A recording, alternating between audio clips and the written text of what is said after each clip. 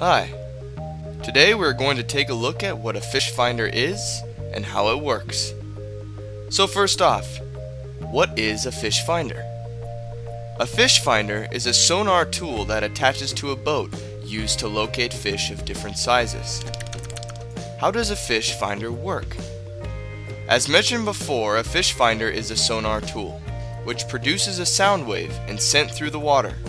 As the sound wave penetrates deeper into the water, the sound wave spreads, creating a wider beam than it originally started with.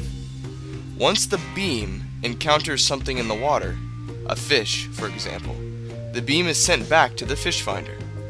Then, the fish finder will automatically measure the distance between the fish and you by calculating the very small amount of time for the beam to bounce back to the device, thus leaving you with detailed info on where and how deep the fish is.